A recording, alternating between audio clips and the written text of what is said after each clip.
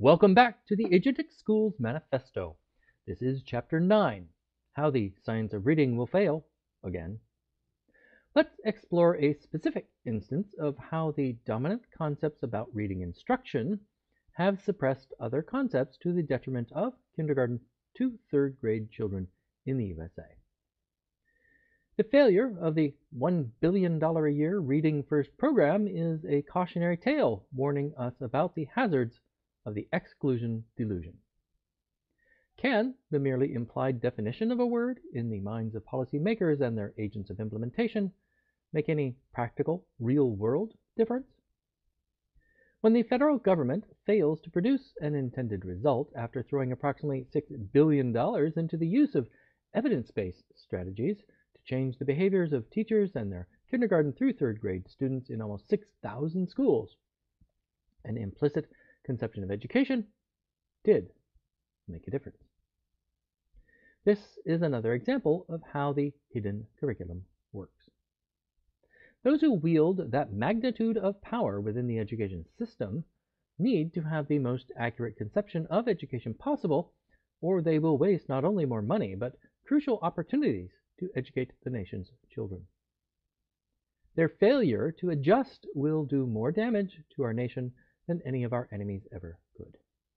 Definitions that contribute to or that can prevent these weights are worthy of sustained and critical attention. When the role of motivation in learning is properly understood, it leads to a different conception of education. The concept I proposed in Chapter 5 as a substitute for the delivery concept is that learners grow mental maps. It follows from this new concept that policy makers would use different priorities for their legislative efforts. The Reading First Initiative, the flagship program of the No Child Left Behind Act of 2001, NCLB, neglected motivation as a key component in the process of learning to read. That neglect was because the idea of delivering units of content was the guiding conception of teaching reading in the minds of those who conceived of and implemented the law. It is a conception that neglects to account for other truths about teaching, and therefore misleads policymakers into false notions of what will work to improve schools. Policymakers cannot be expected to become educational experts, so scientifically respectable guidance is crucial to their ability to create effective policy. The most common misconception of teaching is based on assuming that the learner is a relatively simple receptacle for knowledge, skills, and information. It also implies that the central actor in the drama of schooling is a teacher who delivers all the necessary units of content into the learner's head. This is the content delivery conception. Paulo Freire used the term banking in his widely acclaimed 1972 book, Pedagogy of the Oppressed. Other scholars and critics have used other terms that share the same basic core idea that something is transferred from one person to another. There is a skeletal core within any concept of education. At the most basic level of analysis, being educated means being able to perceive accurately, think clearly, and act effectively on self selected goals and aspirations. But turning this minimal concept into systemic guidance for reliably producing people with those capabilities requires much more than the bare bones. What is it that needs to happen throughout the process of a person making the transition from being ignorant to being educated? The content delivery misconception answers the question of what should happen by suggesting that every learner should be subjected to the manipulations of a knowledgeable, well informed, and skillful teacher. Under this conception of teaching, schooling is supposed to be about enabling teachers to maximize their ability to deliver units of content into the heads of students. The image does not inform us about the context in which the learner operates, except that there is a teacher. It is also uninformative about the necessary qualities of that teacher. Those ambiguous features are imaginatively filled in by the non-conscious intuitions, ideologies, and or political commitments of each person as they think about the school system. Learning is the internal process through which an education is attained. Therefore, conceiving of it correctly within the field of education is crucial to sustained success. Schooling is a set of systems in which the processes of learning and teaching are institutionalized in order to ensure that our complex globalized society has an adequate supply of educated people. Given this view, the problem we have is that the dominant misconception of teaching that shapes legislation and other forms of education policy is contradicted by both scientific evidence and over a hundred years of critical reflection about the natures of learning, teaching, and schooling by practitioners and philosophers. There are other conceptions, as noted in Chapter 8, but they have yet to be accepted as equally true ideas that must be incorporated into a properly integrated scientific model of education. In Chapter 5, a combination of conceptions was used to generate the learning tree visual model of an important aspect of the educational process.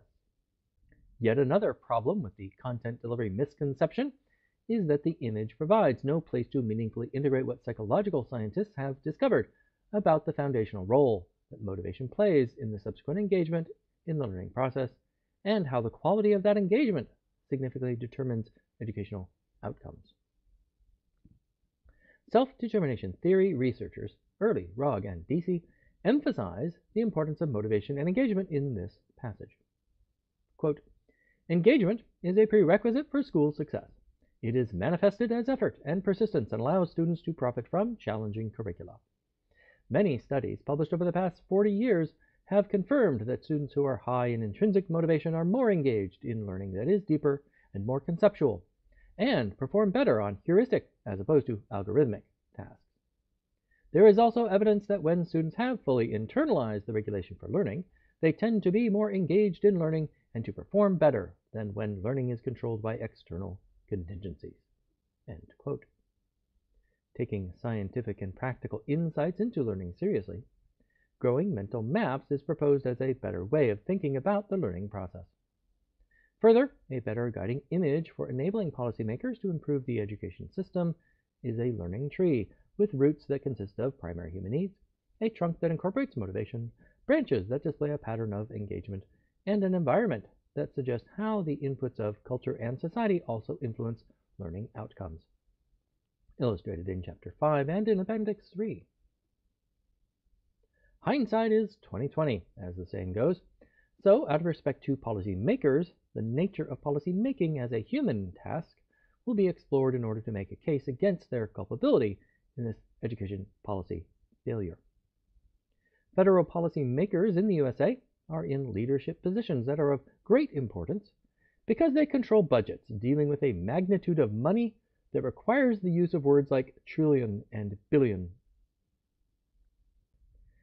There is a common notion in Western society that humans, especially well respected and powerful ones, are normally rational, in the sense that they can take in unbiased factual information weigh the merits of each piece of information from some value neutral objective perspective, and then arrive at a carefully reasoned and logically coherent decision about how to proceed.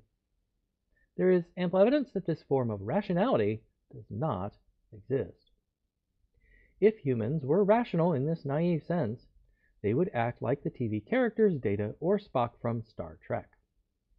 They would have immediately and automatically calculated a logical course of action based solely on the definitions and other text in the Reading First law. The fact that the term motivation was incorporated anywhere in the definition, coupled with the imperative declaration that all elements must be present, should have led a truly rational decision maker to incorporate into their implementation plans some allocations in support of motivation. That is not what happened. And that is also not happening within the current public discourse about the science of reading. Policy makers are typically people with complex interests in complex situations, and as human beings, they have a whole suite of non conscious mechanisms that guide their thinking and acting in ways that they do not normally comprehend. As a consequence, they are extremely busy people with complex demands made upon their limited cognitive resources. The limitations upon their cognitive resources means they are not inherently rational decision makers. This limitation is not unique to people who are busy or powerful. It is universal to humans. Thus, none of us are rational in this naive way. We all need some forms of organizational and societal support to achieve rationality. At their best, powerful policy makers build robust organizational systems that they must trust to process information for them. Congressional authorization of the National Reading Panel, NRP, which consisted of experts in research on reading, but notably lacked any practicing teachers of reading, is one of those systems. Then, after those experts made their report, the policy makers relied on another set of organizational systems, in which they may or may not have participated, to compose a bill based on that report. Both experts and policy composers are also humans with the same cognitive limitations as policy makers, but with different sets of interests and situations making claims on their cognitive resources. At each stage of the game, there were opportunities for the definition of education to non-consciously influence the ultimate outcome.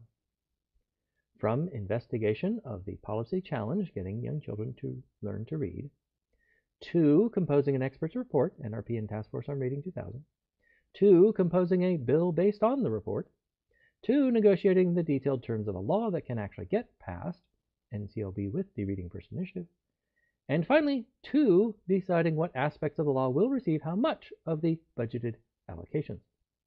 Implementation decisions.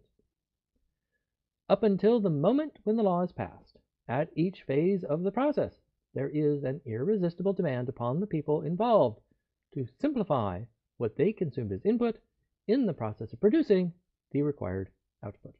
At the later stages of this process, there also arises a complicated political calculus of addressing the interests and concerns of different constituents or stakeholders. Conceptual metaphors embedded in word choices guided the simplifications at each stage of the lawmaking process. Those concepts were codified in the final law, implicitly at least. If the law was consistently shaped by a similar conception of education at each stage, then those charged with implementing the law would have had that conception in mind, if only implicitly, when they made decisions about how to allocate resources. The reports, the law, and the implementation of the law appear to have favored the content delivery metaphor for teaching, even if isolated examples of inconsistent wording or conceptions exist. See Appendix 2 for more details of my analysis of the various documents mentioned. Despite the law explicitly stating a requirement that all six of the components of reading must be included in order to achieve success, the implementers of the law clearly ignored the sixth item, dealing with motivation, in the definition, and allocated funding according to the less comprehensive five-part definition of reading instruction instead. The reporting and analysis afterwards showed little or no concern for the role that motivation and engagement could have played. This seems like a good reason to be skeptical of the power of a definition. In this case, an important feature of an explicit definition within the law was ignored. So why should we expect that any proposed definition can produce a different result? This is where the assumption of human rationality can mislead us. The naive assumption of rationality suggests that the merest mention of motivation should have been sufficient to activate the logical entailments and practical implications for those who were responsible for making decisions about implementation. The program managers were expected to act like Data or Spock.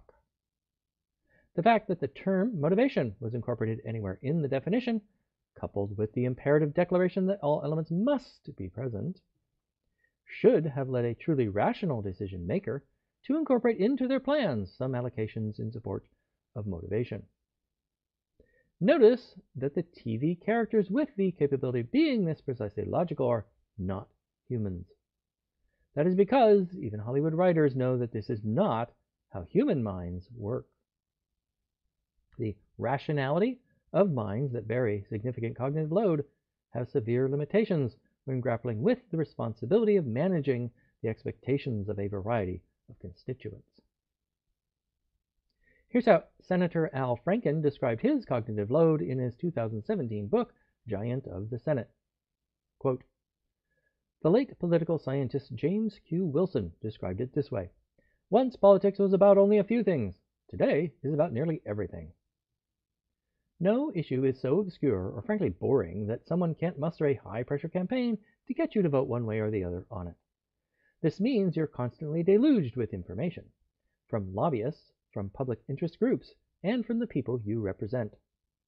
Congress receives some 300 million emails a year, so there are a lot more issues to keep track of. And there are a lot more considerations determining how you vote on these issues.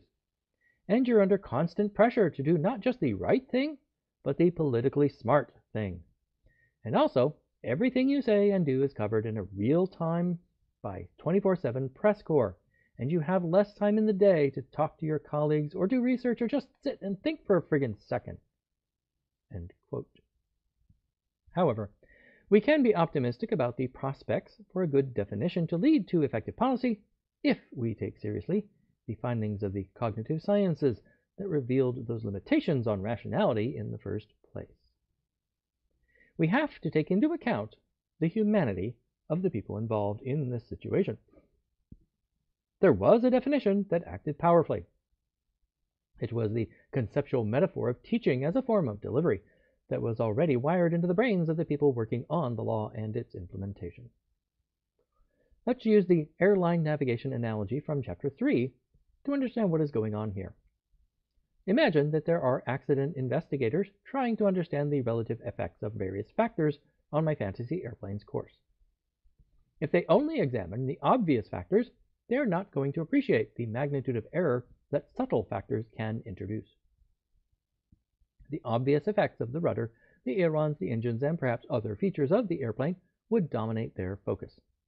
The magnitude of effects produced by those features would have been much greater than a one degree navigational error. When they get to thinking about the pilots, they would focus on their behavior and conscious thoughts.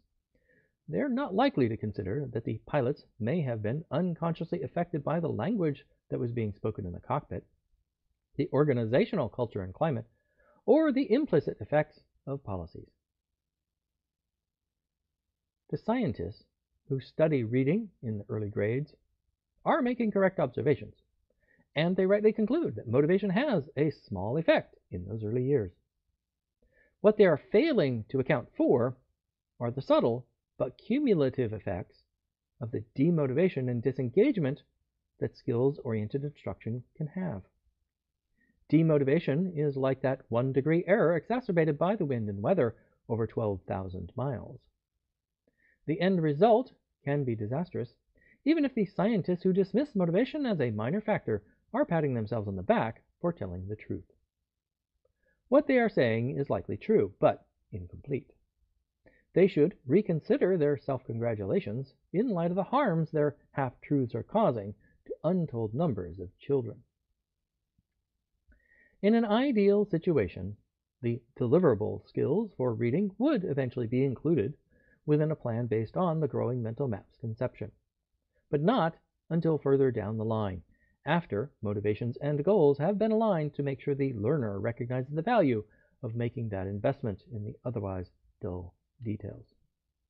As George Lakoff pointed out while explaining the pernicious influence of mechanistic metaphors for learning, quote, Individuals are not machines in which a specific input will always lead to a specific output or outcome.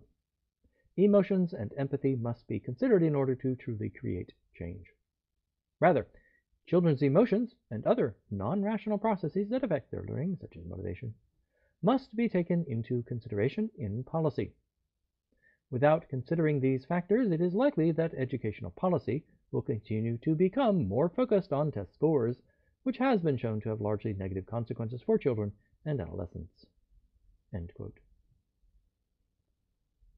The new wave of enthusiasm for the science of reading is doomed to repeat the failure of reading first, unless the sixth element of the definition of reading is taken seriously.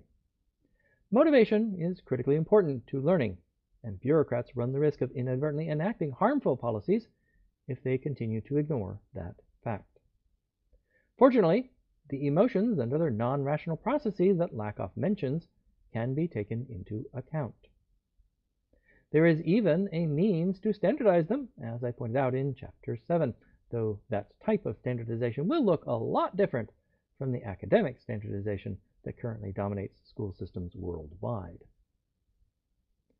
Unless we heed Lakoff's warning, the so-called science of reading will fall victim to the exact same mistake.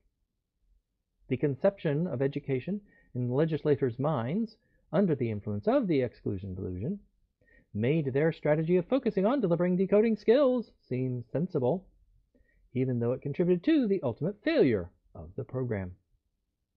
They got exactly the kind of compliance behaviors they intended the $6 billion to buy more time devoted to decoding and more measured possession of the skill. But the slightly deeper learning that was the true goal, reading comprehension, did not consistently follow from that compliance. Documents related to the program revealed that responsibility for cultivating motivation was missing from the law, despite warnings, and that error contributed to its failure. The content delivery conception of teaching appears to have been the guiding principle behind the implementation of the Reading First initiative. The evidence based Reading First program was, according to a variety of reports, implemented with a primary focus on getting teachers to deliver more units of decoding skills in order to produce better reading comprehension. After multiple years of implementation, a large-scale review of the efficacy of the program was issued in 2008. It showed that while teachers devoted more time to teaching decoding skills, and that the children possessed more of them, thus fulfilling the mandate to deliver, there was not a significant increase in reading comprehension a slightly deeper level of learning that was the intended outcome. There are differing opinions about how much of a bust this investment was, but in the face of that report, the funding for the program was eliminated as soon as a new presidential administration took over. Appendix 2 presents my analysis of the series of documents cited above that are relevant to Reading First and its controversies.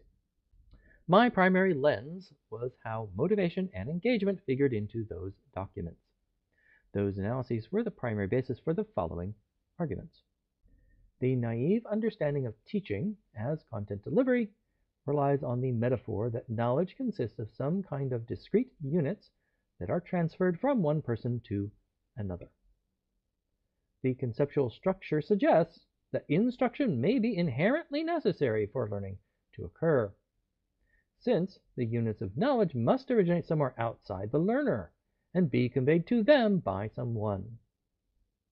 Noting the definitions of reading versus reading instruction, and then considering the consistency of the reported implementation priorities, it appears that the primary concern of reading first was with how to provide reading instruction, not on creating optimal conditions for learning to read. This emphasis on teaching instead of learning is a consequence of the delivery concept and does not reflect the understanding of learning held by most scientists and accomplished educational practitioners. Most scientists who study learning and experience skillful teachers understand that motivation is crucial to the learning process.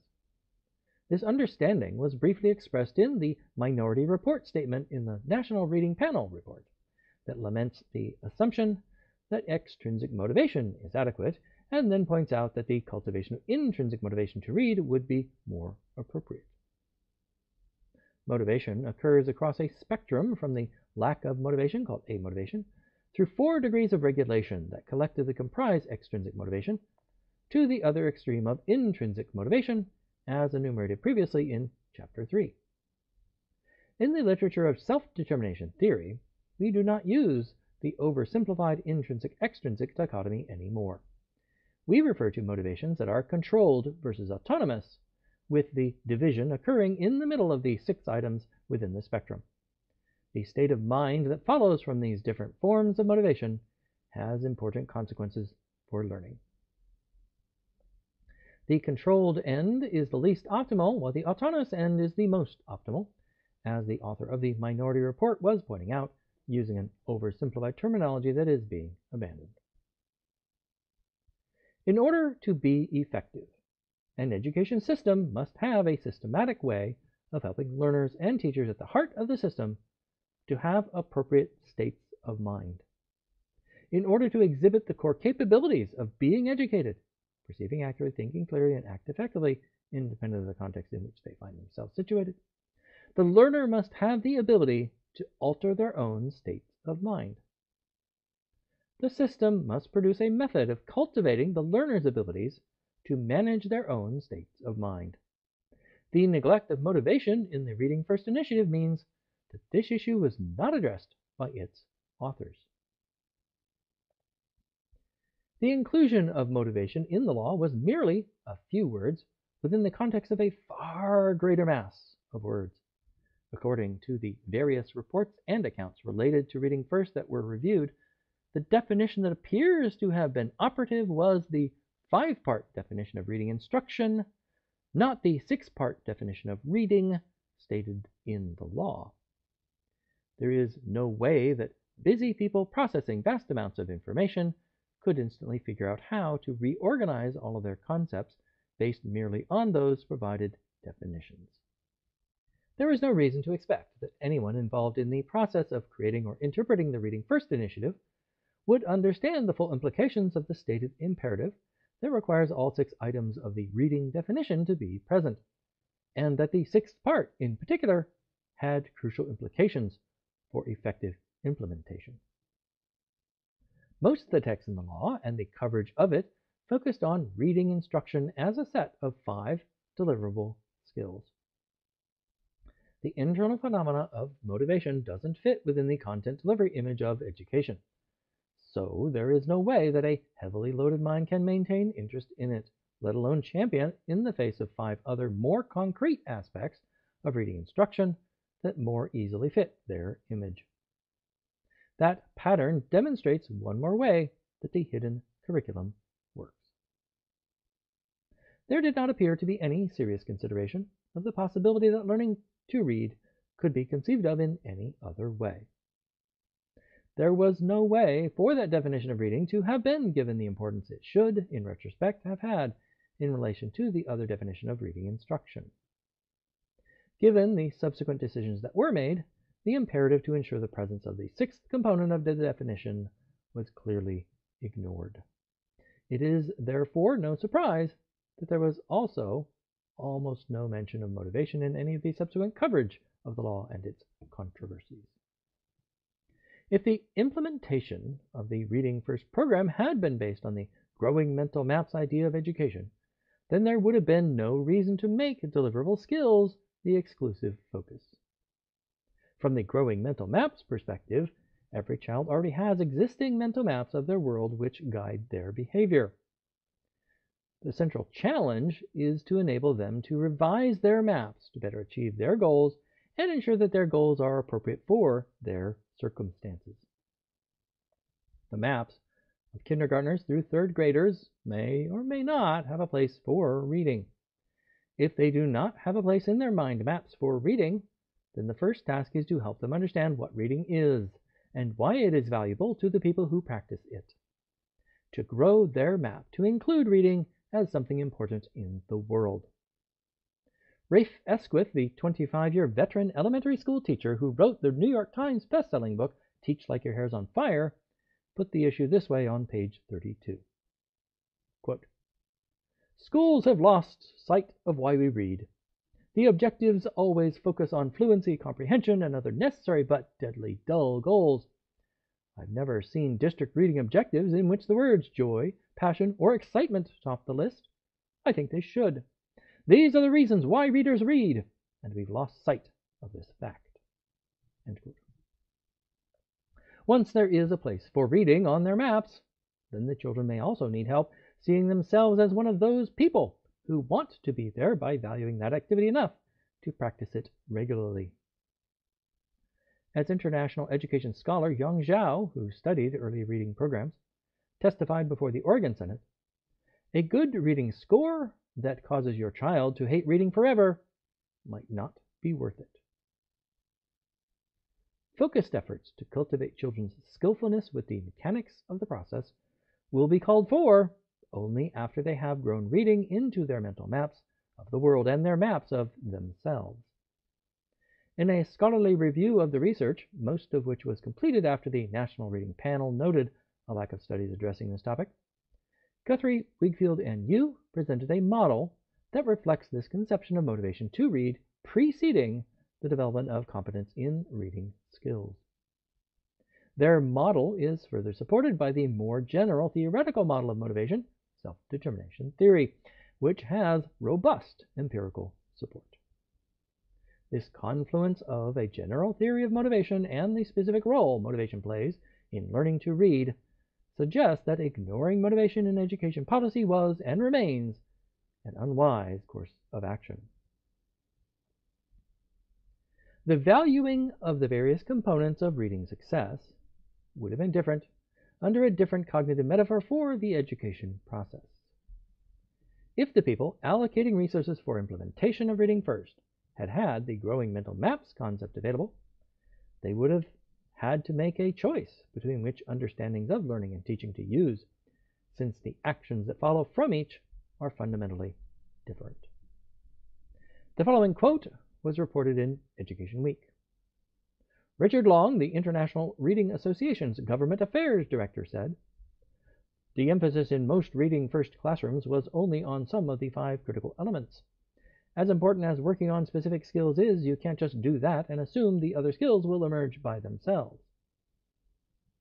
Notice that this presumed expert on reading and reading policy says five, not six, critical elements. His conception of critical elements does not appear to include any non-skills, such as motivation. A sarcastic motivation psychologist might mock his statement by saying, as important as working on skills is, you can't just do that and assume that motivation and engagement will emerge by themselves. But this mockery would be unfair because it relies on inside knowledge of SDT, which is a narrow technical area that is not well known even within the broader scientific enterprise of psychology, let alone the education sector. The neglect of student and teacher motivation will hamper the learning process, no matter how thoroughly the instructional content is delivered. This concludes the ninth episode of the Agentic Schools Manifesto. If you would like to gain access to the illustrations, the footnotes, the appendices, and the bibliography, the PDF and illustrated video versions of the book are available as membership benefits when you join Deeper Learning Advocates for $5 per month or more. That's dladvocates.org forward slash donate. If you would like more information about the catalytic pedagogy philosophy, how self-determination theory applies in education, and what it will take to transform education systems around the globe, check out my other website, holisticequity.org. There, under the Tools tab, you will find a variety of valuable ways to either deepen your understanding or apply that understanding in your school. Thank you for your kind attention. One final thing for those of you who have joined Deeper Learning Advocates. I am personally available to answer your questions and discuss the contents of this book with you. This opportunity will not last forever, so take advantage while you can. My email is don at holisticequity.org. My preference would be to talk over Zoom, but phone or email can work too. Enjoy!